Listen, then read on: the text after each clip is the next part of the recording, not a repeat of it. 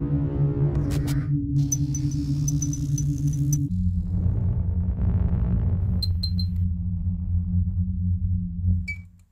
guys, welcome to Medifaction. Today, let's learn about inflammation, that is, acute inflammation to be precise. So, due to entry of microbe or any tissue injury, inflammation may occur. The acute inflammatory response rapidly delivers leukocytes and plasma proteins to sites of injury. Two major events taking place are the vascular events and cellular events.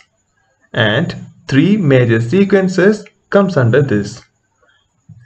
The first two sequences that is dilation of small vessels and increased permeability of the microvasculature comes under vascular events.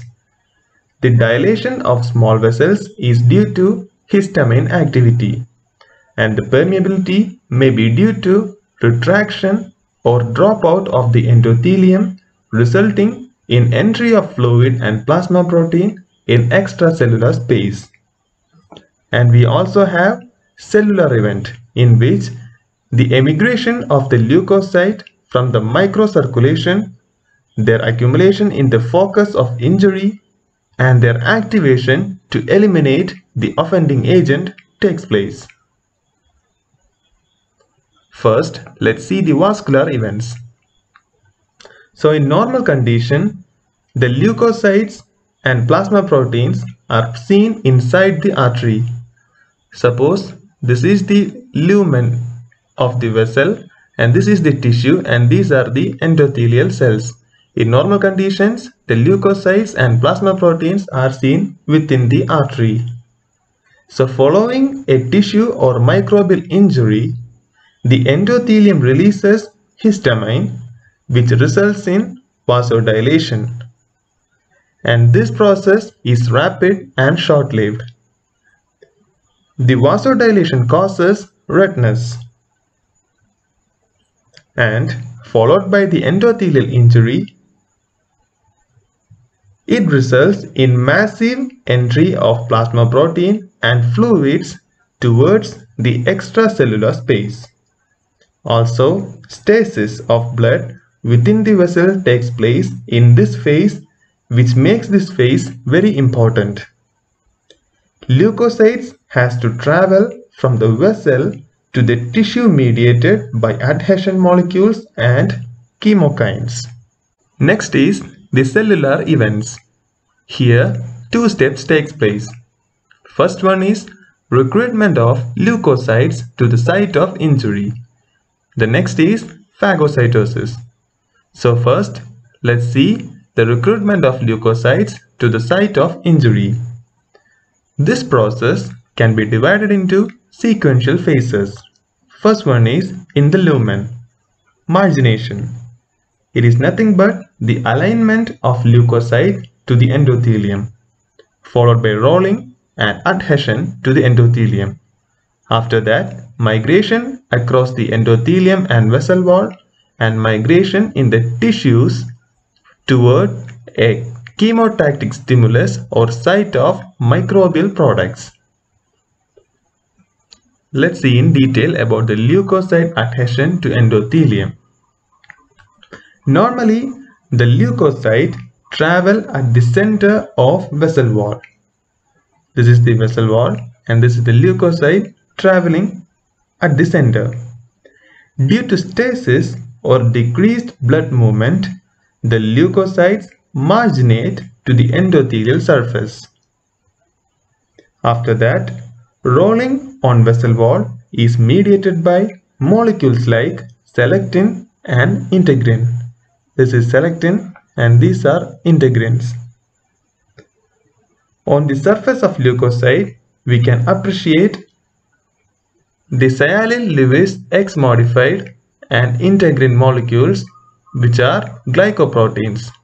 The integrin is in low affinity state at free stage and when injured the mediators and cytokines are released.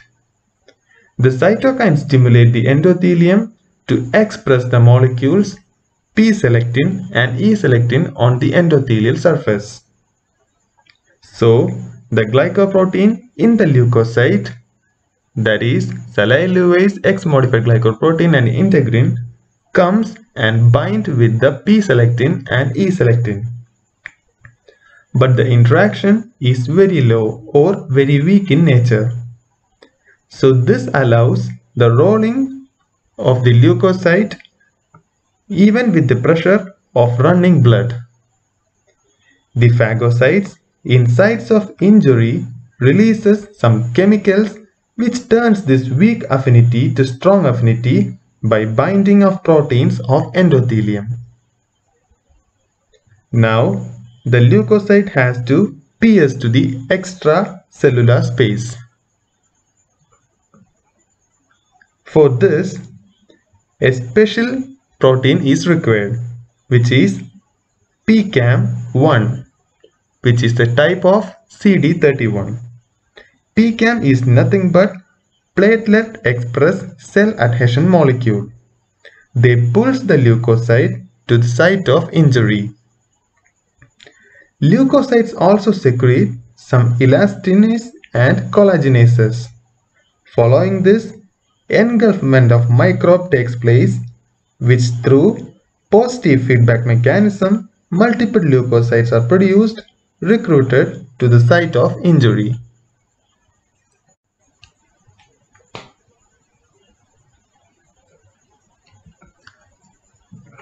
This table gives information about molecules present on leukocyte and endothelium and also their interaction. So there are three selectin molecules L-selectin, E-selectin and P-selectin. Among this, L-selectin is distributed by neutrophils and E-selectin and P-selectin are distributed by the endothelium and these binds on the sialyl-Lewis present on the leukocyte. Then we have integrins LFA1, MAC1, VLA4 and alpha 4 beta 7. Among this LFA1 and VLA4 is important. The LFA1 is secreted by neutrophils and the other three by monocytes. They get interacted with ICAM and VCAM. Then we have CD31 variety. They help in transmigration and diapedesis.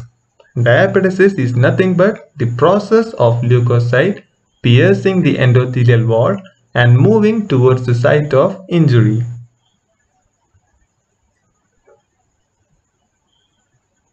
So this is for a clear picturization of the interaction between endothelial cell and leukocyte.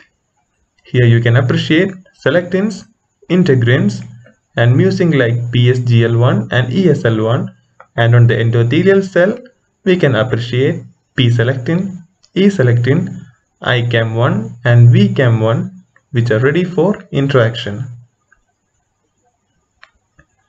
Next is chemotaxis of leukocytes.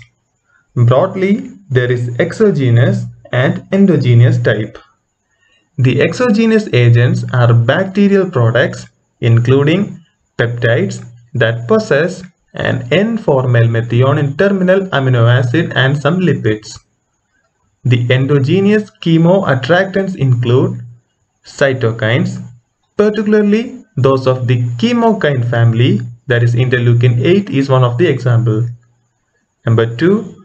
Components of the complement system particularly C5a and also arachidonic acid metabolites mainly leukotriene B4. Next is nature of leukocyte infiltrates in inflammation. So this varies in acute and chronic condition.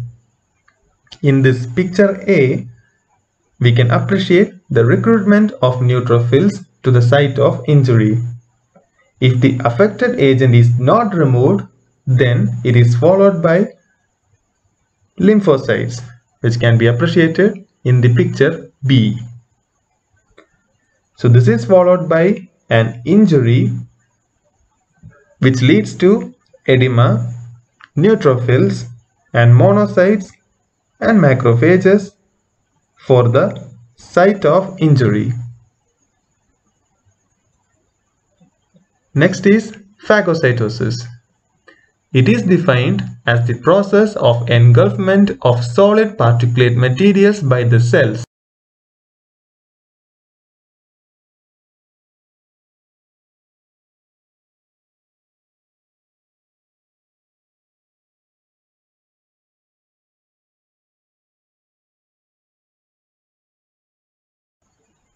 and also circulating monocytes and fixed tissue mononuclear phagocytes called macrophage. To understand this figure, first recognition of the receptors by leukocytes. So as we all know that many receptors like mannose receptor, scavenger receptor, G protein coupled receptor, toll-like receptor, and cytokine receptor and phagocytic receptor are present on the leukocytes. So, here we will appreciate the G protein coupled receptor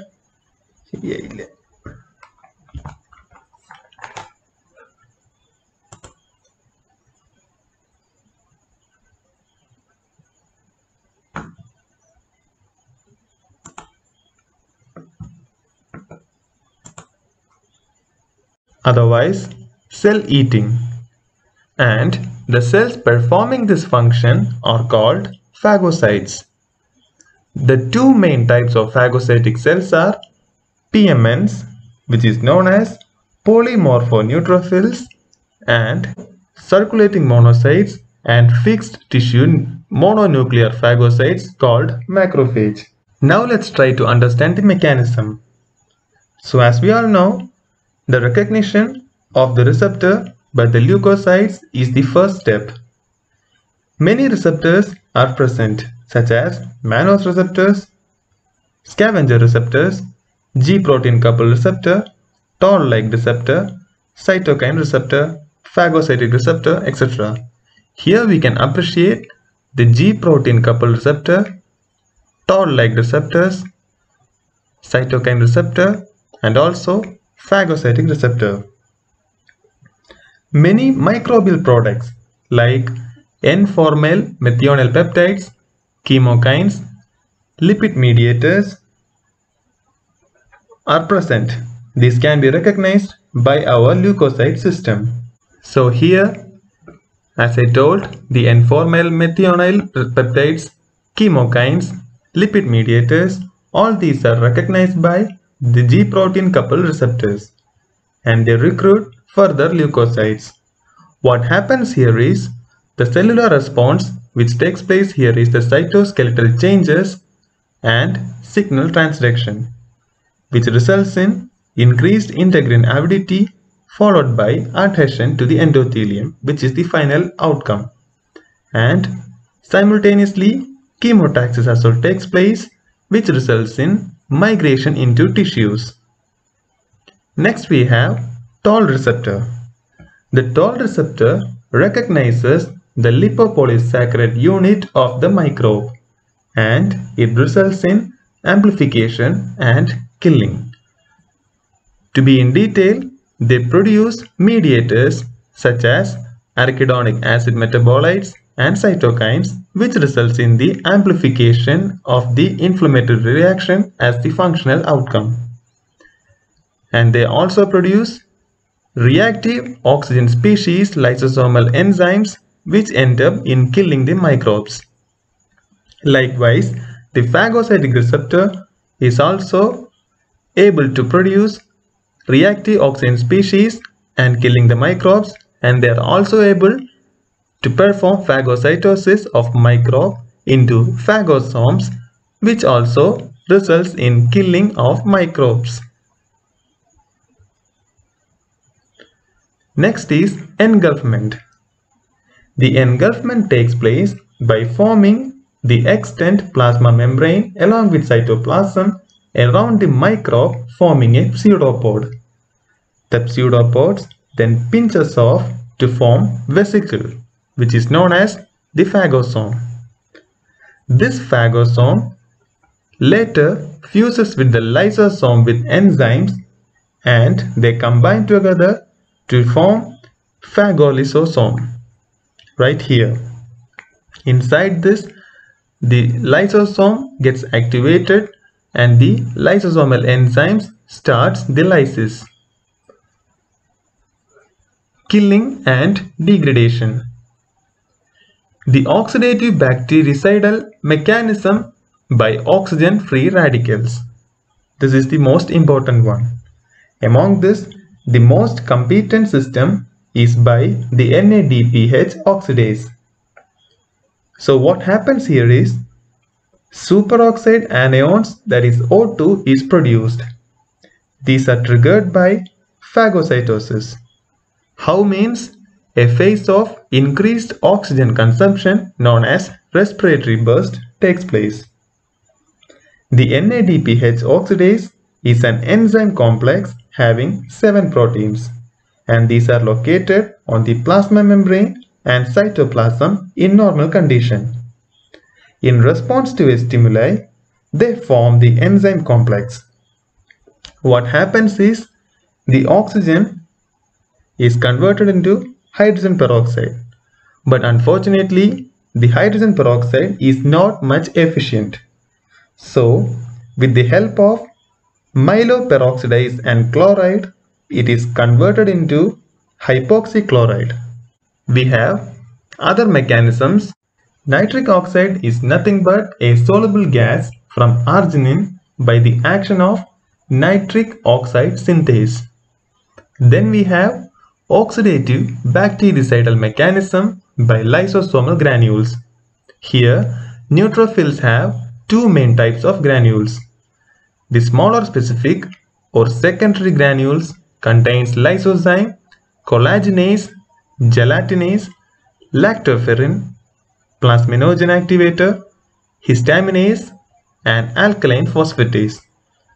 The larger azurophil or primary granules contain myeloperoxidase, bactericidal factors such as lysozyme, defensins, acid hydrolases, and a variety of neutral proteolases such as elastase, cathepsin G, non-specific collagenases, and proteinase 3. Hope you have understood the video. Like, subscribe and press the bell button for more videos. Thank you. Thanks for watching.